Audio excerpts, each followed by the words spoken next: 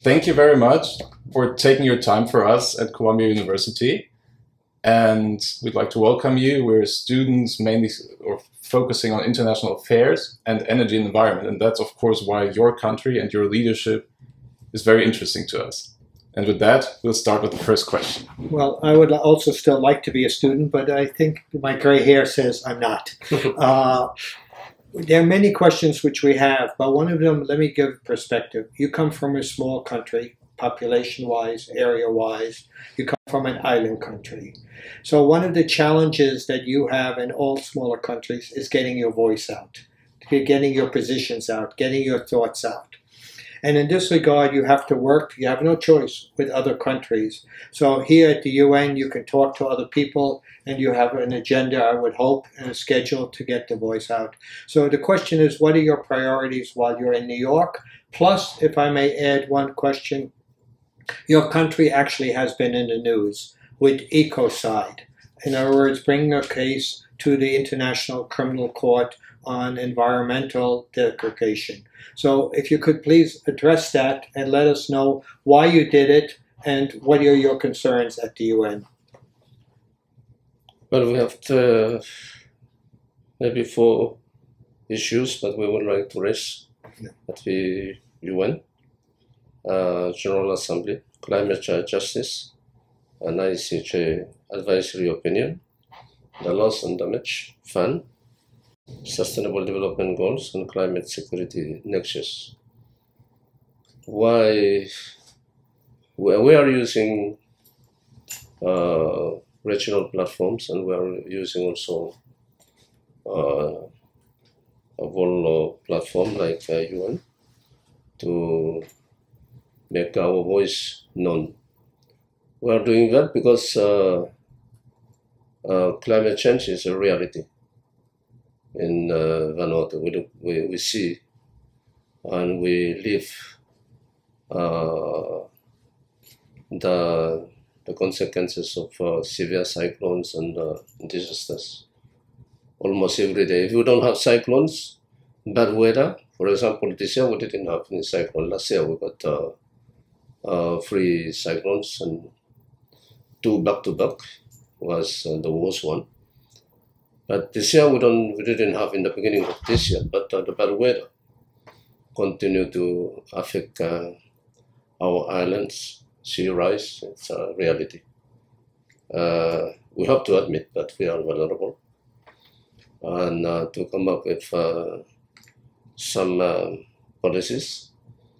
But uh, Vanuatu alone will never succeed, and we need.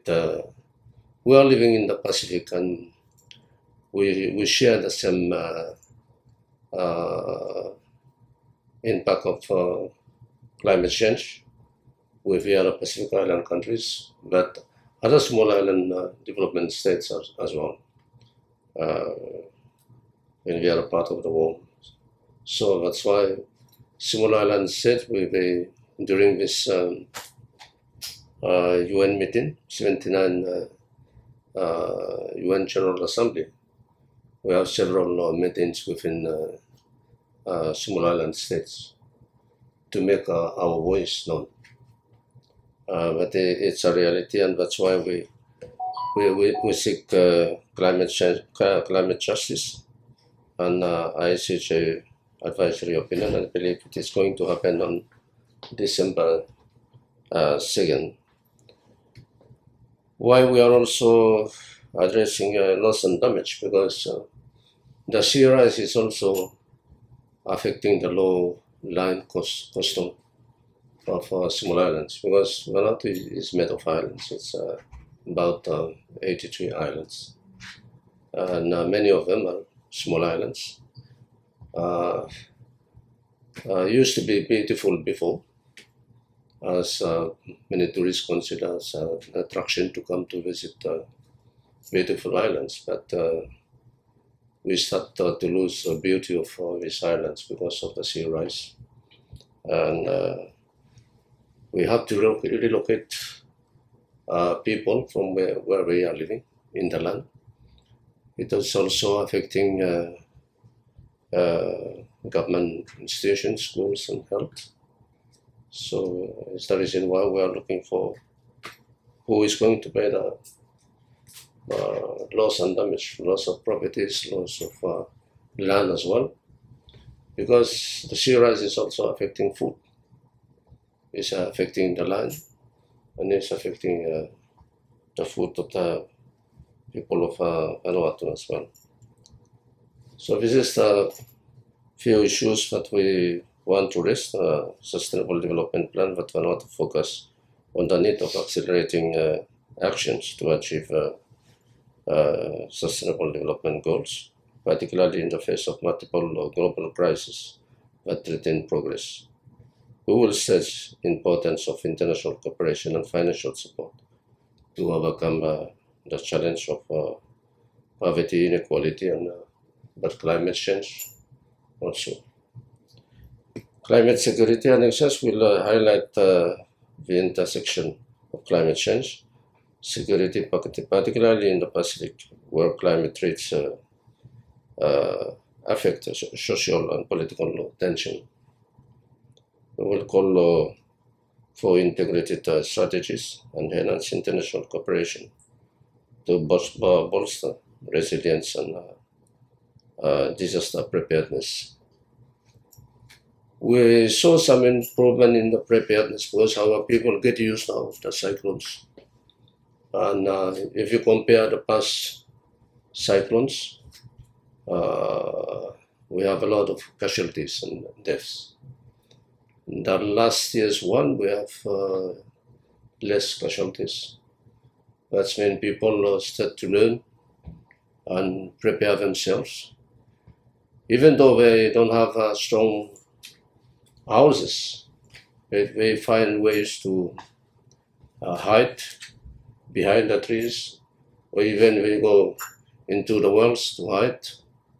And but we have less casualties. Uh, but damage are huge, very huge. Uh, cost of the damage also is quite uh, uh, heavy, especially for small island country that have limited resources.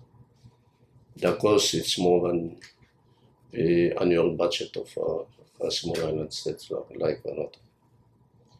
So, as I said, it's a reality we are living. It's because it's not only storms and cyclone. Vanuatu is also sitting on the rim of fire. So you can expect uh, earthquake, tsunamis. And as I said, even though this year we didn't have uh, cyclones or storms, but uh, the weather continued to affect rough seas. Uh, the main uh, uh, transport means between islands is by air or by sea. And when the sea is rough, it's also affecting connection between islands. And uh, when it's raining as well, and we have uh, uh, bad weather, of course, we have uh, some of our airports are not all weather airports, so it's um, affecting uh, connectivity within islands for the people, but also for the goods. So it's the reason why uh, uh, climate change uh, is a real threat for small countries like uh, Vanuatu. Uh, some are more more affected. For example, Tuvalu, because it is more smaller than Vanuatu.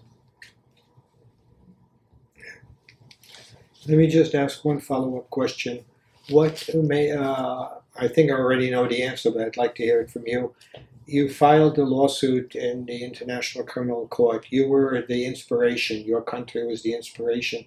What inspired you to take the initiative? I mean, were, did you see the damage that climate change was doing more vividly? But you took the courage to file the lawsuit, and it does take courage sometimes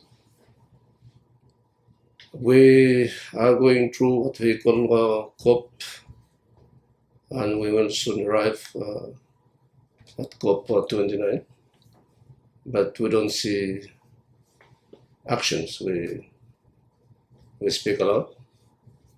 We have a lot of uh, promises, but we don't see enough action. So it's the reason why we come up with this initiative.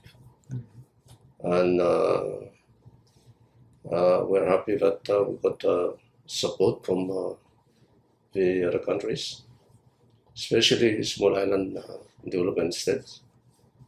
Uh, I hope that uh, when the court will hear the case, we will uh, have more answers from those who are causing the climate change. I don't want to blame anyone, but uh, it's a reality of uh, that affecting small islands. We are the victim of what we, we are not contributing to. I'm a lawyer, so I can only support your initiative. Thank you. And with that, we come to the second question. Your country is a role model in the fight against single use plastic for the world and also a huge advocate for marine health and health of marine systems. Which lessons can countries around the world, independent of size, learn from Vanuatu? Maybe proactive leadership and policy innovation, community centric approach, global partnership and uh, support, and integrating uh, traditional uh, knowledge. Vanuatu's success in reducing plastic pollution stems from uh, its proactive leadership and willingness to implement innovative policies such as banning single use plastic. This demonstrates that uh, taking decisive early action is crucial for environment uh, protection. That cannot be successful if everyone is not uh, uh, supporting and uh, implementing, because we are living in the same oceans, especially in the for the Pacific. So everyone has to do it.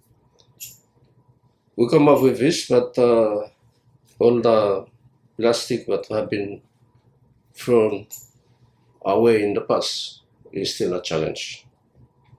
And uh, that's why global partnership is very important.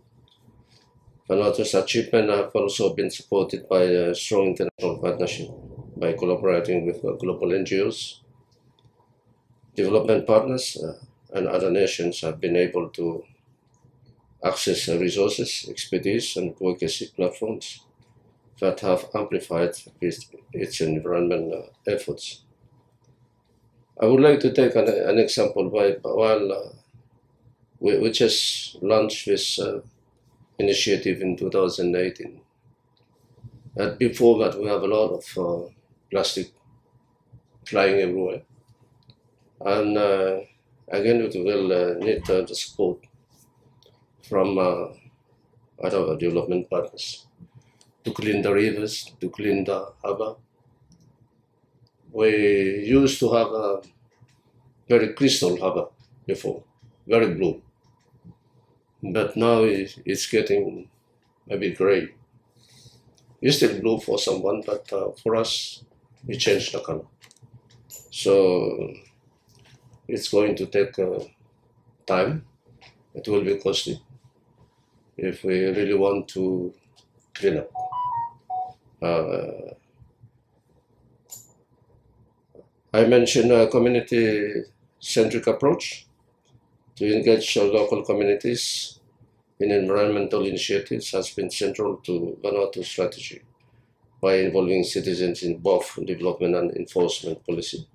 Vanuatu has ensured broad-based support and sustainable implementation. Vanuatu is living in, in, in communities, probably because we have uh, uh, cultural and custom uh, system in the villages uh, with the chiefs that are leading communities. So easier to implement this policy, even to protect some of the reefs. We use local authorities to ban uh, diving or fishing in uh, some of the reefs. So this is how the, the system can become effective. But because it's a small community and we almost know each other, we are living in community and we uh, don't see much difference between who is rich, who is poor, and because we are helping each other.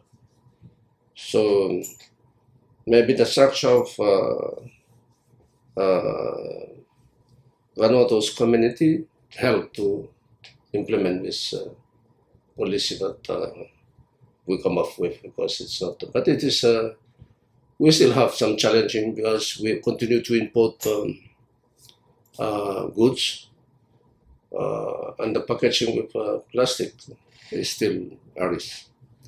The other challenge is how we can uh, treat these uh, plastics. Some countries are uh,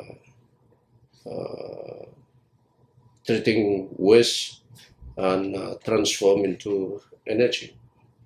But with a small country, I don't think it's uh, the quantity is not enough to start this kind of uh, industry.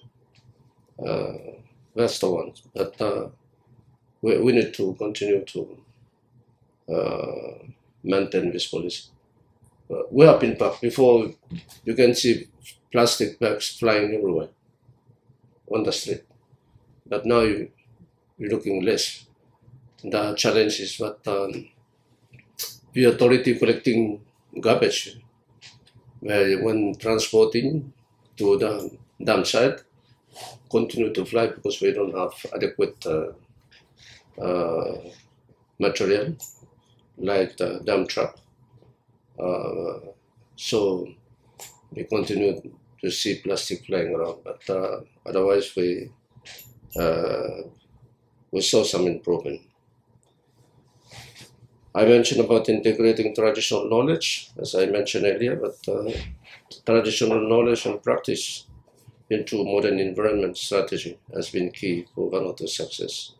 This approach not only respects uh, cultural heritage, but also ensures that the solutions are effective and sustainable in local context. Uh, yes, maybe because we have this uh, uh, community structure and cultural approach, it is easier to use it uh, than having policemen. Otherwise, we will invest more money to have uh, policemen to control uh, each island and uh, it's going to be very expensive. By using communities and uh, the organization, women organization or youth organization, so seems to be more effective. But uh, uh, the first thing is to uh, realize that uh, uh, plastic bags and we still have some few materials that can affect the environment that uh, people have to accept that it is a danger. For the marine, we are living on, uh, on the sea and it is important to protect uh, our seas because we are, it is also uh, our garden because it's feeding us. So if fish is poisoning or fish in the rivers are poisoning, our health also is in is at risk. What you what you said is very critical because you're close, you're on the sea or on the land, and unfortunately, in our urban societies, we get distance, so we don't have the same feeling of community. But one of your challenges also is you have your own community, but you also have the South Pacific community, have the Melanesian community. Uh, so, how do you work with them and particularly pollution from, uh, let's say, uh, bags uh, is now. But one potential pollution is deep sea mining at that one. So, how do you address this with your fellow countries in the South Pacific? Because how do we prevent a problem from becoming a problem? It is uh, an issue, but um, we're still yet on the discussion between the uh, Pacific Island countries. Uh, some of the countries come up with this idea because when you don't see any actions on, uh, on climate change to address loss and damage, for example, um, relocation of uh, people and community within the land, it's a real cost. So when you don't have any financial support, they have to come up with uh, some uh, uh, uh thing like this. Uh, for us, uh, Vanuatu, we are more interested to know as a country because we don't have it yet. we don't undertake any research under our water to see what is under our water as resources and what would be the risk because we know very well that Vanuatu is one of the countries that uh, is sitting on the rim of fire. We have so many volcanoes and uh, can be a risk, but uh, we are more interested to know what we have under our water as a country. Uh, any operation, we will have to consider the risk or what kind of technology that uh, uh, can provide more security. So for Vanuatu, this is our stand to, we need to know more what this is under our water. It's not a, a country that uh, have uh, mine resources like our neighbors. They have more mine resources, but uh, country Vanuatu, no. Uh, doesn't have. Let me just ask one follow-up question, if I may. You said you want to know, which I believe in. Without knowledge, we can't do anything. It's a practical matter. So, what are you doing to advance this knowledge and exploration? Are you uh, are you doing any research? Are you working with universities, think tanks, anything specific? We don't have anyone yet. We don't work with anyone yet we need uh, firstly to have uh, uh, internal consultations within the country. If everyone agrees, then we can seek for any university or uh, uh, any technology that can uh, support us to do. But after 44 years of independence, it is time to know what we have under our water. I totally agree. You need to know. You mm. need to know. Yeah. And then we're already. Data is important. Our population, our students need to know yes. what kind of resources we have in our country, which is the priority. And with this, we already come to our final question. And with this question, we would like to know what have you, from your path in politics and outside of politics, learned that you think the next generation of aspiring global leaders, change makers should know? Well, I think uh, resilience is uh, the face of uh, in this uh, adversity. It's uh, important uh, to be resilient. Even though we don't have much means and resources, but we need to be more resilient. And we show it uh, after the cyclone in 2015. Uh, we don't need to wait for the machines, but everybody went on the streets to start to clear the road and the, the building. Uh, so I think this is the sense of uh, uh, to be resilient more. Well, Pacific Island uh, country people are uh, always resilient because they know that uh, are living in small islands and challenges a lot. And uh, strategic use as well of uh, international platform. So we are using regional but also international uh, platforms like United Nations, to advocate the priorities and influence of uh, the global policies. This uh, demonstrates the power of uh, strategic engagement in multilateral forums and amplify the voice of the smallest.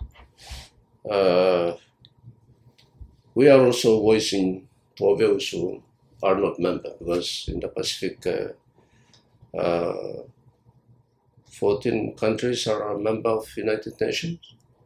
Uh, otherwise, we have territories, American, U.S. territories, French territories, uh, New Zealand territories, but uh, don't do not have voice here. So we have to uh, voice on their behalf. Um, but within the region, we, we accept them to become member of the Pacific Island Forum to hear their voice because climate change is affecting all of us. Whether you are an independent country or you are a territory, we are living in the same ocean. So it is good to get the voice of everyone. And few of us that are member of United Nations, we are also doing on their behalf, but using the other platforms like uh, small island state uh, to voice together, to have uh, voice together. Uh, I hoping that we can convince the whole uh, countries. Um, it is important also to build uh, and sustain partnership.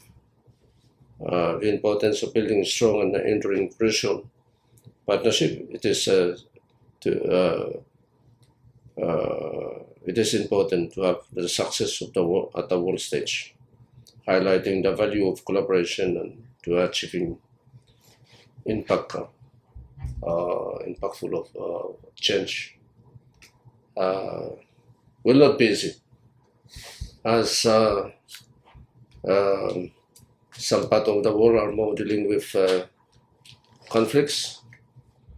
Attention is going to uh, where conflict is in Europe, in Middle East, while uh, we climate change is uh, silent, but uh, it's a real threat that is affecting the small island countries.